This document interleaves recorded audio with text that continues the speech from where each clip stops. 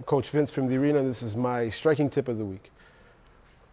When you throw a punch, you got to turn the punch over and land with the two knuckles on this side, uh, on the front part of your hand, so you don't hurt your hand. When you hit the bag, the impact should be at the end of the punch, turned over, keeps your shoulder up.